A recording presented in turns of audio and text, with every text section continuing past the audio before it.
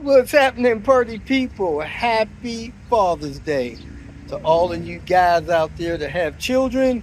And for God's sake, if you do not have a decent relationship with your children, man, make that a priority to get that worked out.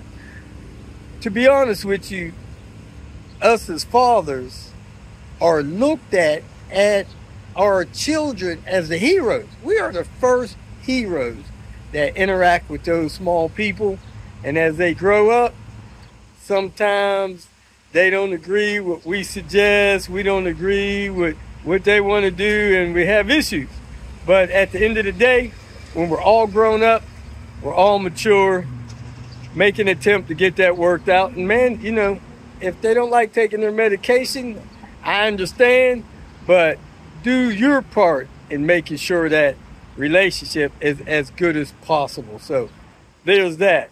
Uh, man, Kalamazoo getting ready to hit the road, heading to Chicago. Had a wonderful time at the Gilmore Car Show and the museum. Let me tell you something. I don't think there's a museum in the U.S. nicer than that Gilmore Museum. So if you ever have a chance to come check out that museum, even if there's not a car show, if you're a car person and you haven't done that, I, I'm hesitant to let you continue to hold that car guy card. You have got to check out that museum if your feet ever touch. And I bet you there's other nice museums in this great state of Michigan since Ford and all these other factories were here, GM and stuff. But man, it's really a nice museum. I, I bet you there's a billion dollar worth of cars in that place, man. No joke. Not at all.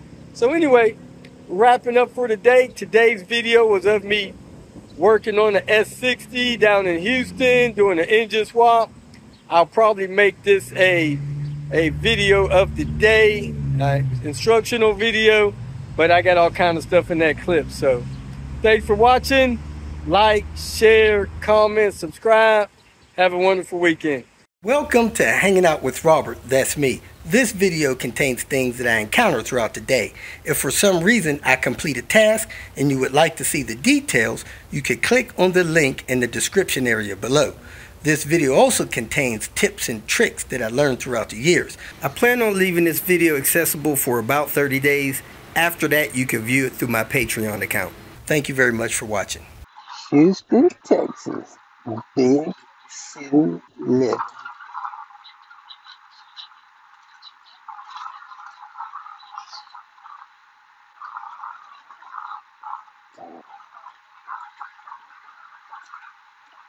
Here we are, folks. At the work site, we got parts that we're going to be changing seals and things on the engine. Here's the engine, and here's the S60 that it's going in. I hope it's going in. Car's locked up. We need an engine hoist to get this engine out here where we could work on it, but we don't have that yet. So we're going to see what's going to happen here in the next few minutes and get to work. Up, oh, battery's too low. You know what? It was working when we. There it is. 2006 S60 engine assembly from Autos Recyclers. They went to Dallas and picked this up. And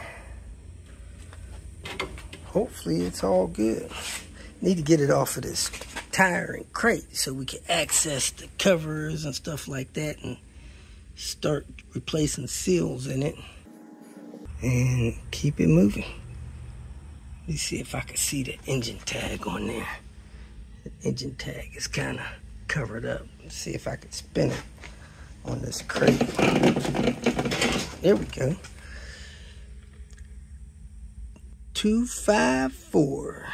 254T. Looks like a three maybe. We got more parts than less, which is good. Look like we got all the cam seal stuff we need. So I'm gonna pull the stuff off the back, lock the cams, go up front, see if I can adjust the timing before I do that. It looks like I can get this cover off, so that's good. I should be able to move this crank with this on here. Had some kind of oil leak here. We'll try to get that figured out. Fuel line is here. Thermostat's there. I don't know if we got a thermostat, but we'll look for that. We got an oil pump, which I never mess with oil pumps. These cars generally don't have oil pump problems. They have oil pan seal problems, but not oil pump problems. So let me get this cover off, time it, get the stuff off the back, start replacing these timing seal. See if we can figure out where this oil stuff was coming from. And we got, I think, the parts to do the PCV. So we'll do that as well while it's on the ground. Pull this intake manifold and do that. Sensor pickups on the back of the engine, they look the same, but they have different part numbers. The one in the exhaust, the part number ends 468. The one on the intake, that part number ends 006. So I'm going to keep those separate. Clean ones on the exhaust, rusty ones on the intake. Not sure if these cam seals had ever leaked. I'd rather have Volvo cam seals than aftermarket ones. But uh, they got them. I'm going to replace them. So let me go ahead and do that. So here's the difference on the back side. The intake one has a tab close to the tab. The exhaust one, it's far away. So that's the intake cam, ends with part number 403. This exhaust cam ends with part number 402. And there's an E right before the 402. And there's a IJ right before 403. Cam differences, let me get the locking tools and put them on there looks pretty straight as far as the locking tools. So those are what we call keyed. Should be impossible to get them mixed up. I got the cam locking tools on, the hub set. The timing may have been off a little bit on here. Let me knock this top cover on and see where this timing was on here. These hub screws are almost in the middle, so I can adjust if I need to. Then I'll knock these off and get these timing parts up. I don't see any oil down there in this front crank seal, so I'm gonna leave that alone and I'm not messing with no oil pump. But definitely these cam seals and these hub seals. Timing is maybe a quarter of a tooth off on both sides, so that's nothing. Can even adjust that with the belt. Let me knock these caps out with the belt on and then pull the belt. Go from there. I think we got the wrong timing tensioner, but let me double check that real quick. Looks like both of these hubs are leaking. This intake hub seems okay. Almost no in and out play. But this exhaust hub, it has a lot of in and out play. That will need to be replaced likely, or it'll leak. Me go ahead and mark them and break them free cam seals are in. Because these have VVT hubs, you can't recess these in. They need to be kind of flush with the outer ring of the engine so that the VVT hubs will catch on the seal in there. So let me go ahead and get this water pump off, get this idler off, get that out of the way. He actually has new timing parts on the other car engine. It'd been nice to use that stuff and not uh, use all this brand new stuff, but let me take a peek over there and see what's going on. That stuff's less than a year old over there. Uh-oh. The first sign of a bad engine. Rust. That means somebody was probably running water, which means they were probably playing coolant roulette. 20, 25% chance that they probably overheated this engine at some point. Probably got a blown head gasket. But it's a Volvo pump. Look at them two little spots I gotta clean off. Winning! I don't see any evidence that this cover is too warped. It's got look like some melted, maybe damaged air. That's a sign of overheating. This side of the cover doesn't look too bad. It's got a chip missing there, which I did find down here. So I might try to epoxy that on or switch the other one over here. Since I can't really get the belt off with the engine sitting in this wheel, so till the engine hoist comes. But the other cover was warped. Not too bad, so maybe it wasn't overheated or wasn't overheated bad at any point. So we might be okay. No real overheat evidence there. This is warped, but these are always kind of warped and jacked up. These covers suck, in my opinion. Something eating up down there. Could just be oil. So let me get that cleaned up, get the water pump on, kill that hornet, get that idler on, get ready for the rest of the belt stuff. Let me clean this off. Let me tell you guys a story of the engine that could. It was once upon a time a nice Volvo, very well maintained, driven not too hard, not too much, had about 90,000 miles on it. And as the driver was entering an intersection, they did see and verify that they had a green light. And to their surprise, as they were finishing reading that text they had, somebody ran a light. Now, had they been paying attention, they might have seen that coming and avoided it, but at this point, there was no avoiding it. That car smashed the front end of their car, spun them around. The driver was stunned. That car drifted to a stop, and then the shock, they just sat there waiting for a couple of seconds, making sure everything was okay. The car still seemed to be running okay. Everybody around them came to a stop. Somebody approached the car, asked them, was they okay? They said, yeah, they seem to be okay. While the car's sitting there idling, they called for emergency help. It was hot out. They're sitting in the car with the car idling, but that collision breached the coolant system. The car lost all its coolant. They're talking on the phone, and then all of a sudden, the car stalls. Car stalls out and dies. They get out of the car, walk to safety, waiting for their help to come. That's the end of the day. Now, what they don't know is, and what they don't realize is, because they didn't turn the car off immediately when the accident happened and all the coolant left the engine, the car overheated.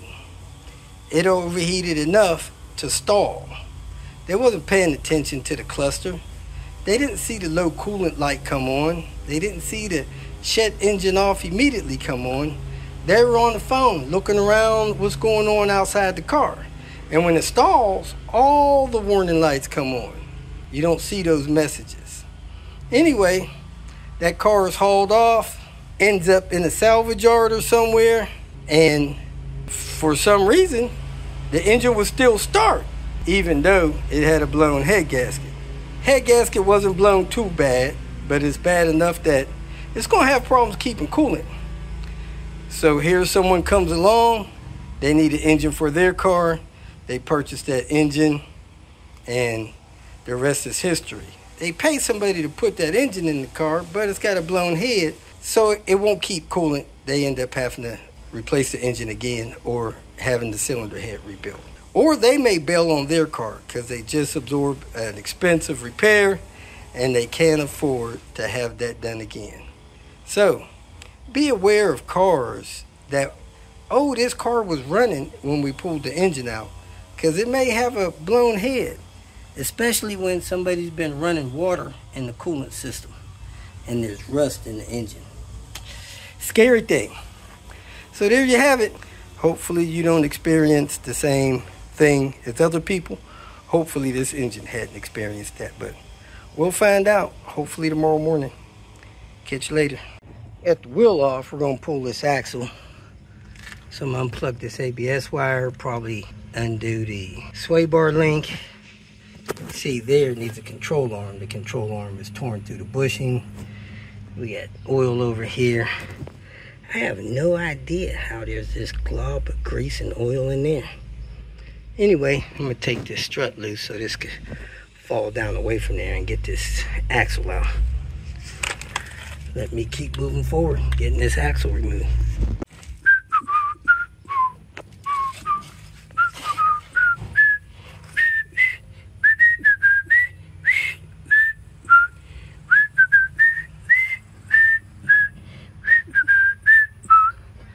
Like we got a CV axle throwing grease out here. That control arm is worn out. This is missing the metal guard there. This engine mount here is totally blown. It's too blown for me to even get the bolts out of there without lifting this up. So, i keep moving forward. Got the canopy up. Got the car moved out of the way. Got the coolant drained. Time to start taking some stuff loose from the engine. Getting this thing ready to jerk out the top. I got the bar across the top out. I'm gonna lift it up a little bit, a little before I could get this front engine mount loose. But I do need to get this power steering pump taken loose from the engine. I'm gonna try to leave that thing there, connected and not drain it. We'll see what happens. Guess I should disconnect the battery before I do anything else, but you can see all the timing components was replaced. INA timing belt kit. Liqui Moly was installed. It had 170 at the time. So let's go see where we're at on mileage and then disconnect the battery. 181. Only 10,000 miles on that timing stuff. Unplugged the fan undid the two zip ties holding the wire harness, pulled the coolant hose off of the top of the fan shroud, unhooked the wire harness over here from the fan shroud. Now I'm gonna lift the fan shroud up and out of the way. Came to the back, lifted the floor up, undid the ground on the battery. Next, I'm going to take this turbo tube out there. There's a seven millimeter down there and there should be a seven millimeter around here somewhere. Take this turbo tube loose, get it out of the way. Then I'm gonna pull these vacuum tubes off of this pipe and unplug any sensor on that turbo tube. Heck, I don't see any sensors on this one. So then after that, I'm going to remove the starter. Take the bolts out of the starter, take the wires off the other side of the starter and pull the starter out of the way. Trying to find the nut on this clamp. It's a big secret for some reason.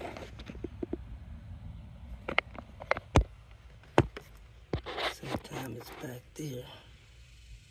Maybe that's it. Let me put a screw in there. See if I can undo that. Sometimes it's down there. Yep, there it is. Let me put a socket on there and undo that. Got my tool on it, reached under there after I pulled this vacuum hose off of here. Got it out. Now I'm gonna take this vacuum loose from this valve right here and pull it out. I'm gonna leave it on the tube right there. Pull it out with the tube. Next, I'm gonna pull the cover off of the engine and I might set the timing, might not. But I'm gonna put rags in these holes. Your intercooler holes, your radiator holes, your coolant hose, your charge pipe holes. Then I'm gonna unplug all of the electrical. I'm gonna unplug all the wires from all the fuel injectors, unplug the wire from the fuel rail, unplug the connectors from both cam sensors front and back, unbolt this wire harness from the engine, get everything that I could reach off the engine. Probably going to pull this vacuum hose, that vacuum hose, so that I can have clearer access to the bolts that go around the engine. And I'm to unplug this from here so I don't break it moving stuff around. You squeeze this top and bottom like that and massage it off. So let me use two hands to do that. Got the starter out, had a 13 on it, and the little solenoid wire had a cap on there that I turned off by hand and a 10 millimeter bolt on the wire to keep it secure. Unplugged the wire harness from the ETM, I took the bolt off the back of the alternator, which was a 13. I unplugged that sense wire from there. I thought I unplugged the AC compressor, but it looked like the plug came apart there. So um, unplug the knock sensors from down there somewhere and figure out what else I gotta unplug to lift the engine up and leave the wire harness there. Well, I see the oil sensor plug right there and one of these clamps is bolted to the engine so I'll pull that out. I'm leaving the wire harness in the car. Here's the knock sensor that should have a plug somewhere. If not, I'll unplug it from the knock sensors. It's way down there. Knock sensor plug is way down there. So, let me get the rest of this stuff unplugged and give you another update. The bolts around the transmission appear to be 13s. I'm gonna take that bolt out there. It looks like a 14, probably a 15, but we'll see. I took the turbo intake tube off because this wire harness was hooked around it. I wasn't gonna be able to lift it out. So I pulled that and I took the lower radiator hose out, give me better access to these other bolts and stuff. Let's keep rolling. Man, there's a lot of oil up here for this car. I've had a PCV job recently, and oil cap seal is pliable. A little bit of a mess. This wire harness came around and plugged in, of course, to these cam sensors, plugged into the turbo control valve, plugged in down there to the intake tube. Then down here, the harness screws in the front of the mount with the 8 millimeter, and I took the 15 millimeter off the top. So I should have everything loose off the front. I got the power steering stuff loose, 12 millimeters through there. I'm not going to breach that. I'm not going to breach the AC. It looks like I got a couple of tins uh, three tens, maybe four on the front of the AC compressor. I'm going to take those loose, push that over toward the engine. I guess I don't need to take that wire loose since it's uh, with the car. But anyway, next I'm going to take that AC compressor loose, then hit these flywheel bolts, and then hit the bolts going all the way around the engine. Then I'll take the heater pipes loose. You just twist them and pull them off or you release these uh, spring-loaded things and pull them off. Spread these open, pull those off. Then I'm gonna take the mount loose in the back. I'm gonna take the heat shield off and take the downpipe loose. And it is lunchtime. Shout out to my boy Jason. Yes, sir. There it is, Jason. Got lunch. Trying to get the downpipe loose, and I got two of those 10 millimeters stuck so bad. I hit one of them with my impact gun, Danny there, and I didn't have an impact socket. It broke that socket. Heck, it might have broke two sockets. Uh, this one didn't break. It just flared it a little bit and stripped it out. But anyway, I put a six point Craftsman on there. It broke it. I need to find my impact socket number 10. Besides that, I got to let it sit with PB Blaster. Hopefully I get it loose. I got the bottom one loose, but not the top two. So we are to assemble this one ton Pittsburgh foldable shop crane. I call it an engine hoist. They call it a shop crane. These are the measurements for the bolts. So when you put it together, and those are the instructions. We got a few of the parts out here. So we're going to put this thing together like a boss. We're going to start by finding this piece here and attaching two casters to it. The casters that have the brakes on there. So let us grab that and show you how that's done. So that's the piece there. We're going to attach these casters to it.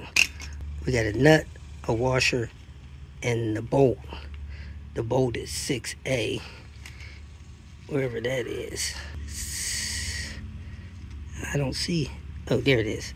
6A. We're going to find these little bolts and the washers and the nuts for them and attach them inside the, the tunnel down there. There it is. They came with the washer and nuts on there. We should have eight of them. We're going to attach these to that. That's how you size them up. Make sure you got the right size. Do, do, do, do, do, do, do, do. So you got some that's flathead. They go on the other casters. And these old heads go on these pivoting casters we have. So my fingers are too short to reach down there. So what I did was lined it up, pushed the bolt through it, and I got my magnet out, picked up my washer and my nut. You could do one at a time, it's probably better. Take your washer, fish it down in there, hook it on the bolt. Oh, my bolt fell out. He's gonna slide the bolt back up under there since I'm working with one hand. Hook the washer on there. I don't think that's gonna be that hard. Fishing it on there.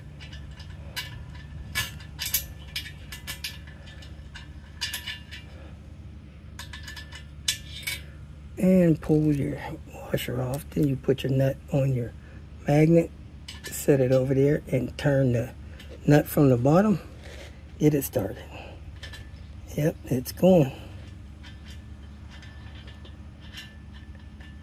And now it's started.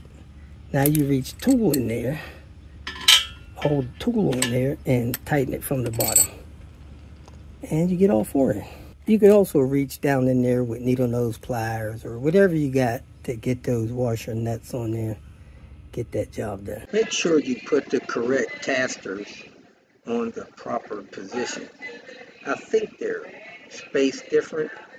And while we were going through this process, we couldn't find one of the nuts and found it down in this tube. It perfectly fit down in that tube. I had to fish it out with my magnet there. All right, we got all the casters in. These are different size from the ones on the arm extenders. I'm not sure if the bolt pattern's the same, but the smaller one goes on there, the larger ones go on here. Now we're ready to bolt the support onto here. And we got two bolts like that, two bolts like this, two bolts like this, and two mismatch bolts. So these seem to be the second largest bolts. I'm gonna bolt them through here with that arm. So let me lift that up there and bolt that on with some help.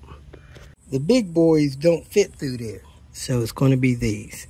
They win. These two big bolts that are the same go in the bottom of your little red pivoting arms. And one of these big bolts go in the top of the pivoting arm. The other big bolt goes in the top of the ram. So let's raise these pivoting arms up and put those together. We ended up with a larger bolt down here, smaller bolt up here. We gotta snug that one down. We tighten those bolts down there. Tighten these two bolts here.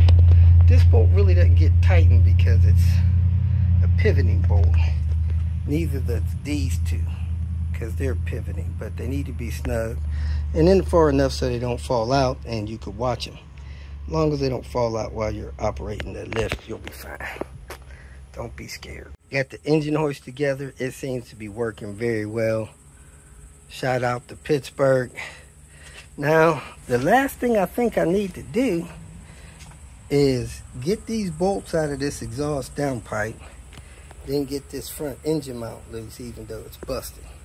I got to raise the engine up just to get those two bolts out. The transmission is already falling away from the engine because I took all of those bolts out. So I hate to break these bolts, but I don't have all day.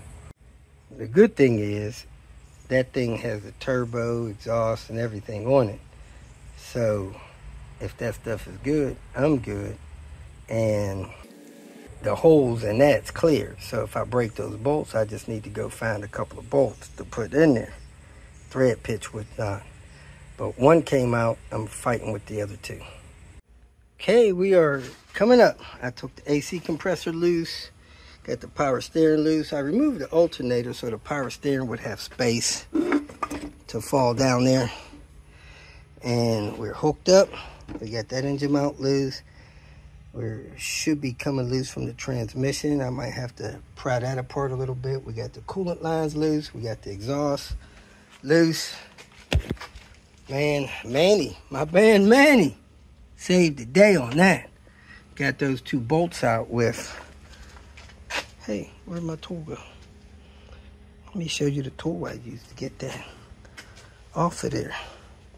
Where's Henry? Here it is. That impact 10 swivel right there. That and Danny popped those loose. Took a little bit, but they came loose. I thought I was going to have to use some heat. I should have done better having all these accessories off. I didn't go under the bracket like that. I tried to go through the hook, snap the gosh dang bracket off. So that's going to be fun, going to the salvage yard, getting another one of those. Whole thing off the front, got to take all the accessories off to get to it.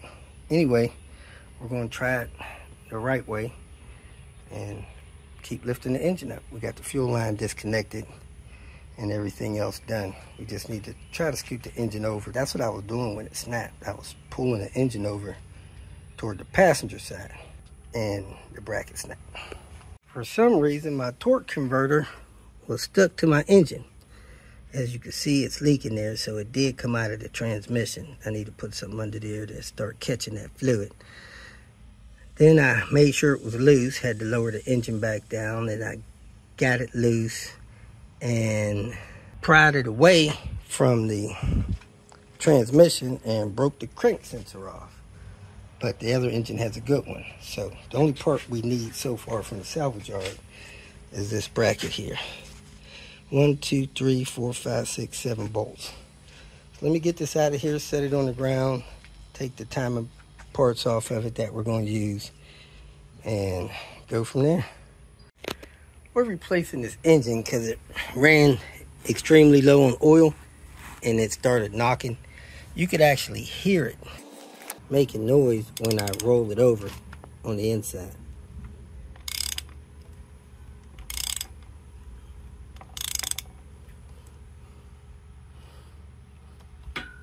Oh, I don't hear it now. When I first started rolling over, you can hear it knocking a little bit. Trying to set the timing so I can take the parts off of here. Make sure this hub is good because the hub on the other car is not good. Heck, I don't even know if I can get that loose. Well, I can do it with an impact gun. I think here's where it's making noise. I can hear the noise again.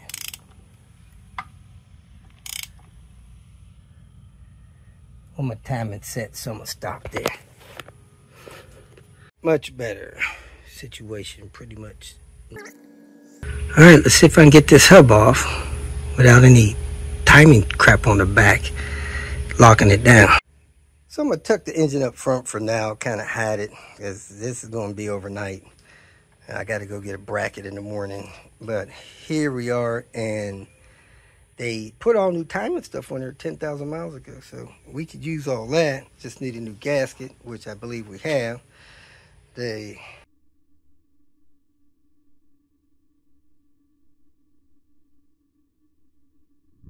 So I'm gonna use the other one. I'm not gonna use this one. May have more play in it. But they did a new PCV. The guy was told they used all the best parts. The fact that he had to put a zip tie on there told me it wasn't. And then I looked down there it's Pro Part Sweden, which is, my opinion, junk. Now the other one has the original system on there, so that's probably clogged. But I'm not going to take it off to put this junk on. So that's that. Let me go ahead and spin this engine around, set it there, which hopefully will be out of my way. And then work my way through here and get that engine on this hoist and get it over here and get it installed and tested. Tested and installed. One of those things. Whoop, whoop. That's it, folks. We're wrapping for tonight. We are calling it at 7.30. Comfort Inn, Westchase, Houston, Texas. Room feels comfortable. Man, the odors in this place is amazing. You walked in the hotel, the front desk smelled kind of like potpourri-ish. Wasn't too overbearing. Smelled nice. Got out of the elevator and the hall smelled like roast beef. Like somebody cooking a roast. I was looking for grandma's roast beef. Walk in the room, it smells a little, little hint of potpourri-ish. Everything looks clean. I'm going to hit the shower and make a couple of videos because I am behind on video making. And I don't have any time. This is all the time I got. So let me check for my insects and call it a night.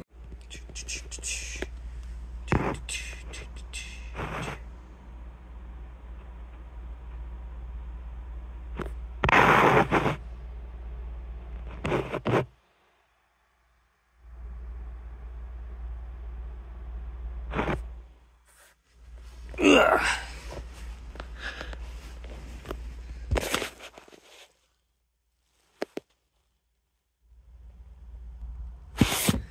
I think I'm good to go. Hit the shower. Well, that's it for this video. I will do some more. I actually, finish that up on the next video. So, thanks for watching. Have a blessed Father's Day and have a great rest of your weekend. Thanks for watching.